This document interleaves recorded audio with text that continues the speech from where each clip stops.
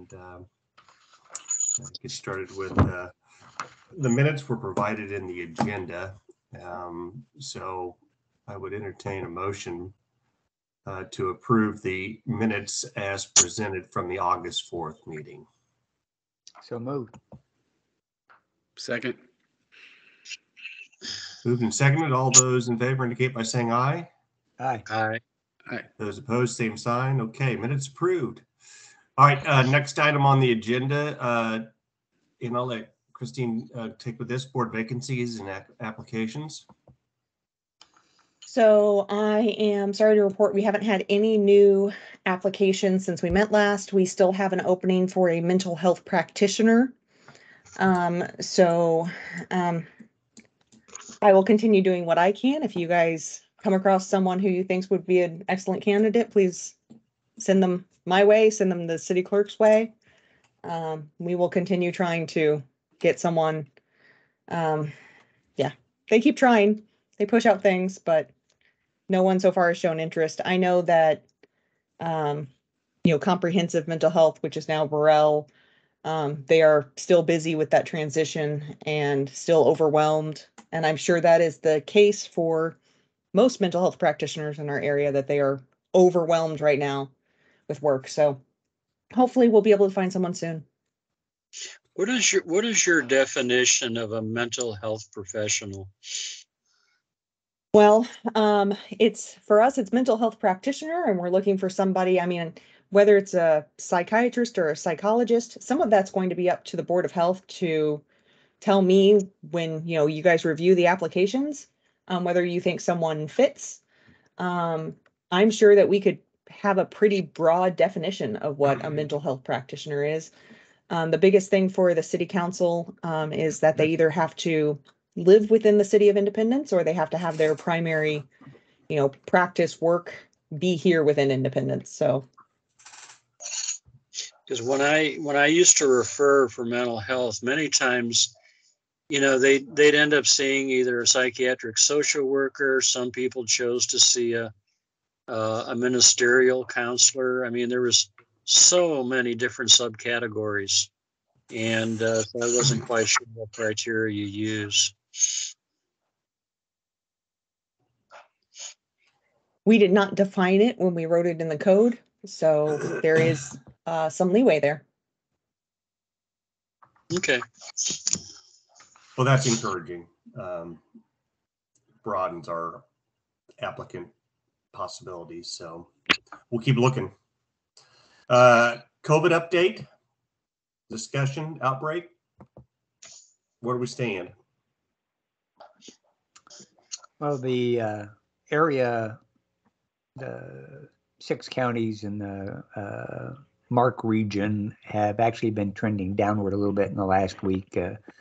Basically, the only data that you have that you can pay much attention to are hospitalization rates, you know, people that are sick enough to be in the hospital because diagnosis rates are, I I would wager eighty percent of people that get a COVID diagnosis did it at CVS and never told their PCP. And even if they do, their PCP is not required to report it unless they did the test. Um, so uh, it has been, has been t- trending downward. Uh, they're averaging about 44 people per day being hospitalized in uh, eastern Jackson County. Uh, we're averaging about four or so in the four hospitals out this way, not counting Kansas City proper. Um, it's still higher than what it was in July of 21, but is it's actually higher than what it was in April of 22, but um, trending downward a little bit, uh, which everybody thinks pretty much is getting ready for everybody going back inside and infecting one another once again. Uh, so just in time for the flu to uh, increase hospital beds as well. So, uh, and I think um, didn't who was it, Christina, that had confirmed that they were seeing uh, oh the ER. Yep, uh, at ER, had Dr. Duncan. confirmed That Mhm. uh, their caseload was decreasing significantly. So it's still primarily, I- I think the common thought amongst most specialists in this area is that everybody has either had the vaccine and or had COVID. And the people who say they haven't just didn't get sick enough to notice that they had it. Um, the newer variants, unfortunately, you don't get a very long lasting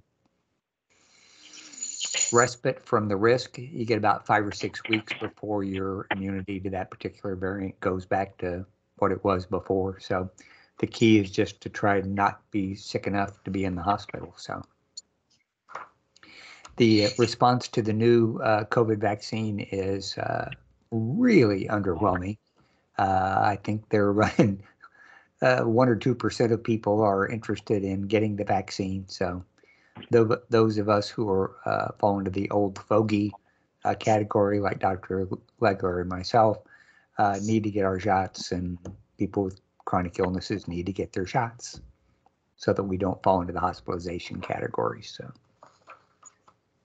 Well, I got the I- double dose uh, a couple weeks ago, uh, right left. So it was a it was a fun day uh, after that, but uh, it's done.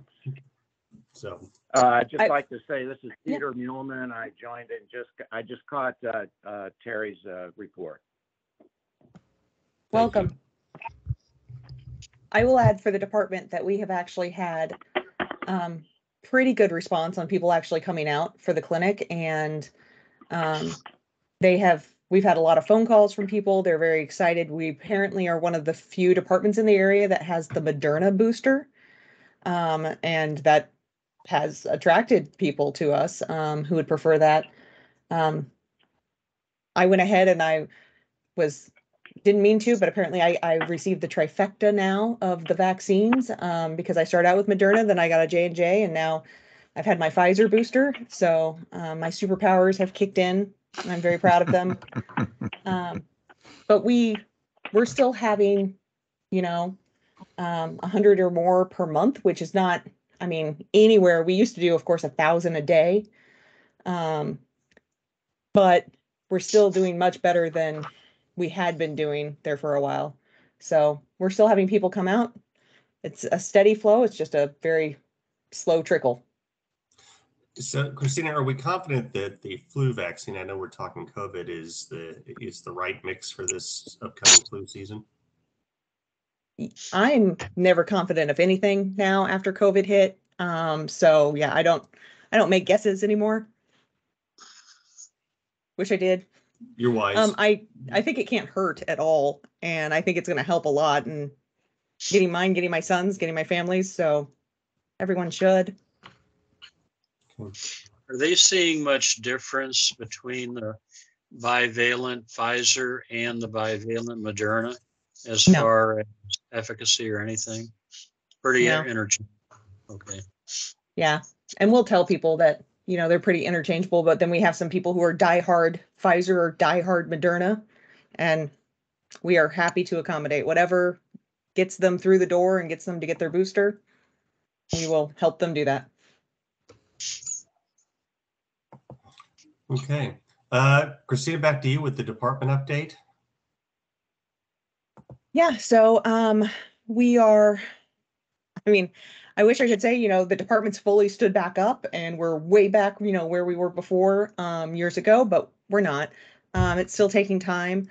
Um it's not probably a big shocker to you guys, but trying to hire nurses um is difficult, uh, especially when you don't do not pay traveling nurse pay. Um so we're we're still short on um, part-time nurses that we need. Um, so we are struggling there. We're struggling to get some people on, but we were able to hire some new people uh, just in the last, well, since the beginning of August. I think we've had three new people start, um, which is exciting.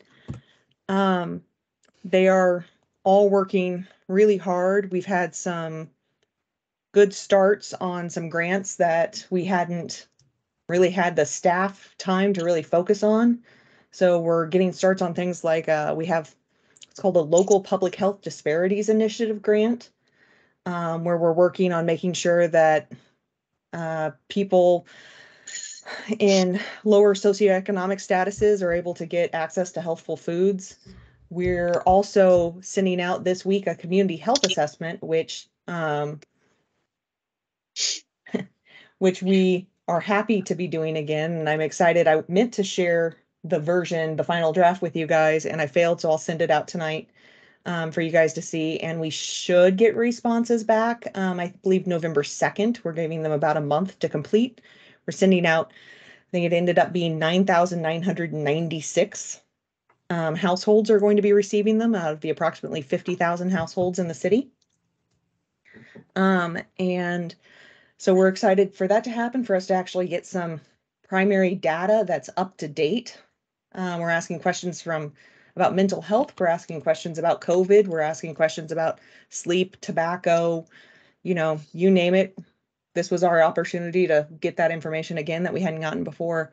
And we were fortunate enough that we had a grant um, step forward and we had a little bit of wiggle room with some extra grant funds. And they agreed that if we could hurry up and get it done, they'd be happy to fund it.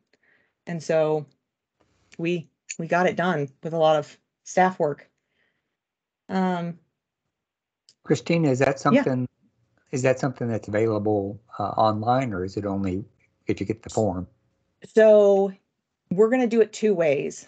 Um, we're sending out, we're mailing it out to everybody. So they should start getting it this week. Um, and then there's a self-addressed envelope that they can send it back in the hard copy. There's also an online version that they'll have a link to. In order to ensure that we don't have any sort of a bias, um, we decided we would actually do two versions of it. There'd be the version that's going to go out first, which is if you received it, there's that online link. And then in a couple of weeks, we're going to publish a different online link so that we can be sure that those 9,000 households have the opportunity to do it first and we don't confuse them and they go to the other link. We want to be able to compare and we want to get as many answers back as possible, but we don't want to have bias in there. So, and we also know that there are going to be people who follow our Facebook page and other social media accounts that maybe don't even live in Independence and are going to complete it anyway. So, So what are you hoping for a return rate? um, so at least sixteen percent is what we're hoping for. In the past, um, we would get anywhere between sixteen to twenty-five percent. Um, one of a different grant actually stepped forward and said that they would pay for incentives. Um, so um, we have different things that people could randomly be entered to win if they complete. Um, so we're we're hoping we can get the sixteen percent. We want something to make sure that we're, and I think at the sixteen percent return rate, we're at a ninety-five, uh, ninety percent confidence interval. We'd like to have it higher than that, but we will be happy with ninety percent if that's what we can get. So how long does it take for somebody to complete the survey? It's three pages front and back. Okay, so it's So, I nothing mean, over, and we, we tried to do essentially check boxes. So for the most part, as long as you can just go through and fly through, I mean, it didn't take me, it took me less than ten minutes to complete it. Um, and I'm sure most people can just fly through. If you, there are places where you can um, expand on your answer should you choose. And in the past, we have most definitely had people who have wanted to say a lot more to us, and that is absolutely fine. Um, there'll be some though that, of course, do the bare minimum and turn it back in. So okay, that that, uh, all the department news for tonight? I think so, unless I forgot something. Okay, uh, then we'll move on to the next item then, discussion on mental health co-responder program. Some background So- here? Yeah, so that's me again. Sorry. Um, so John was able to finish his pilot. Um, and I guess we're we're calling it right now pilot one, um, because we decided we wanted to go out and make some changes and start again. Um, but he went out to over 100 calls. I believe it was like 138 calls. Um, he was incredibly moved by all of the need um, and the work that could be done. Um, but in the end, I'm going to tell you that it was an absolute success. I mean, there are definitely things we need, and the biggest thing we need is manpower. Um, just this week, we were able to identify a grant that we hope is going to be able to pay for um, a licensed clinical social worker and possibly two licensed clinical social workers. Um, because right now we're relying on ARPA funds to pay for that. Uh, comprehensive mental health, we had hoped to partner with, but they are understaffed themselves. So uh, for now, we're, if we want to continue the program, we're going to need to fund it. Um, they're looking to also identify additional paramedics who can do this. Um, but he was out there, he saw, you know, he responded to everything from homelessness to suicidal ideation, um, you know, drunken disorderly, just a lot of different things that were considered um, lower, safer calls for him to be able to respond to. At first, he responded with PD, um, and then they would, as soon as they determined it was safe, they would clear the scene. Um, but he just, he said it was just a totally different thing for him, and it it it moved him, but it was, as you can imagine, um, it was a lot emotionally. So we know that we're going to need to set up to make sure that we have support for any staff that work on this going forward. Christina, did he wind up making any calls? Just, just the two of them, just the team without PD? Yes. Yes. After What- just about a week or two, um, PD got more comfortable with them. And depending on who was, depending on who was dispatching, they would sometimes, you know, get dispatched to just the right calls, just the right sweet spot.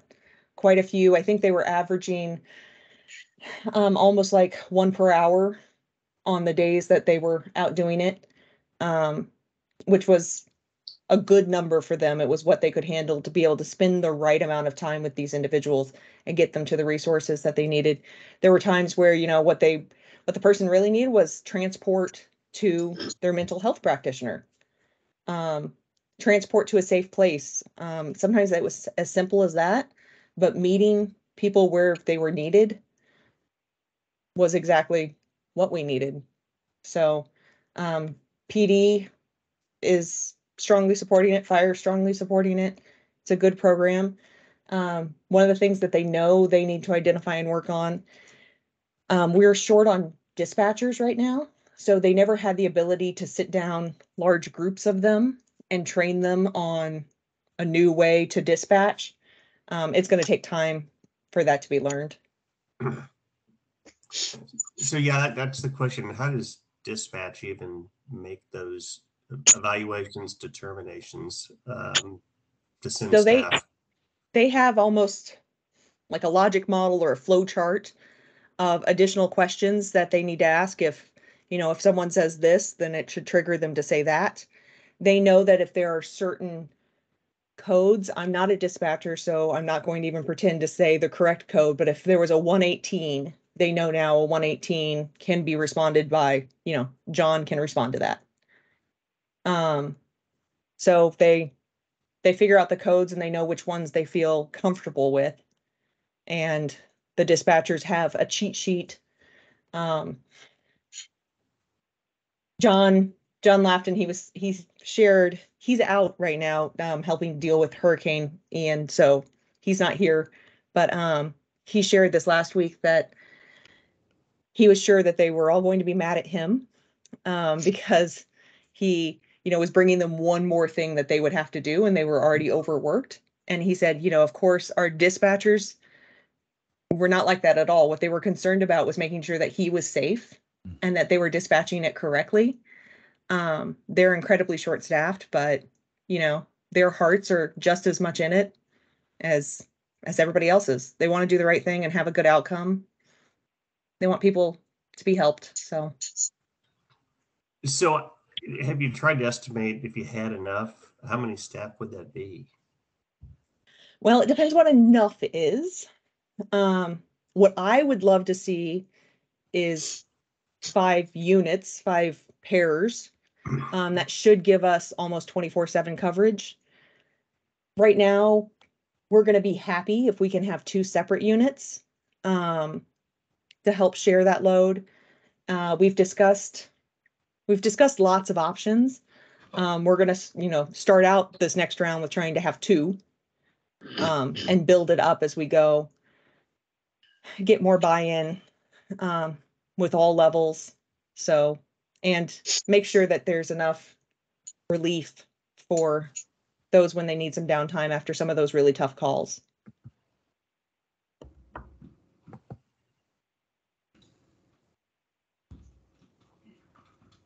The good news is they've identified that sometimes, depending on who would normally get called out to a call, it's actually a cost savings, of course, to sometimes send just the paramedic and the social worker than it would be to send, you know, a pumper with three guys on it out or a pumper and then two police officers and, you know, an ambulance crew. It's not a big surprise there. It's cheaper to send the two individuals and have them drive someone in their SUV to their doctor's appointment than to send everybody else. And it has a better outcome. So is he quantifying that? They're trying. Um, the tough part about quantifying it is they know anecdotally what they would expect to come out to a call.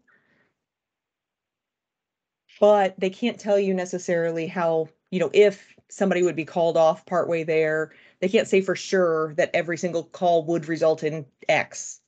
Right. Um, and so it's hard for him to absolutely say. He can say how much it costs for him to go out. And we can say how much it would cost in these situations. Um, right now, that that's one of the other things is they're working on making sure that they have a, a good system for recording all the data. Um, because right now it's it's a lot of him going through notes and making a log himself than having a log built in because we don't have really anything built in for the system yet. So trying to figure that out and keep track himself until we find something better is what we need. Okay. Dr. Morse, I didn't mean to cut you off. Did you have a? No, I, I was just gonna say it's gonna take a long time for him to, to be able to figure that out. The Denver, uh, group, the STAR program and the Portland groups have been very forthcoming with their data and it's just amazing the, the cost savings that are there for the police department and the fact that they can actually get a cup of coffee once in a while or not be responding to two places simultaneously. It's, it's really good. So we're all hoping for the best.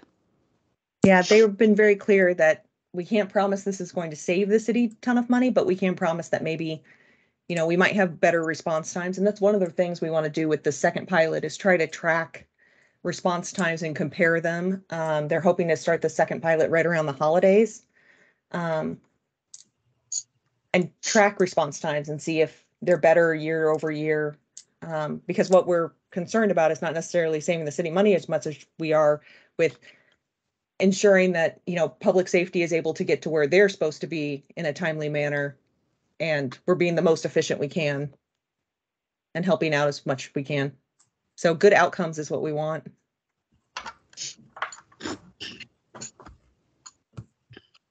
Okay. Uh, Christine, that covers our agenda for tonight. Do you want to remind everyone of our next meeting date? I Well, Put you on the spot. you did. Hmm Thank I'm not you. gonna lie. Uh, I'm good at that. It's okay. December eighth is the second, well, we always do the first Thursday. My bad. So December first is the first Thursday in December. So hopefully everybody is able to make that. Otherwise, I'll try to send it out. I'll try to do better and send it out in a more timely manner, but um well, you know, time gets away from me, work gets away from me. It seems like there's 12 million people who want my attention all the time, so Understood. With that, I would entertain a motion to adjourn. So moved. Second. All those in favor indicate by saying aye. Hi. Aye. All those opposed, you're on your own. Um, Thanks for, thanks for everyone's time tonight. Christina, thank you. thank you. All right, bye-bye. All right, bye-bye. Bye. Thank you.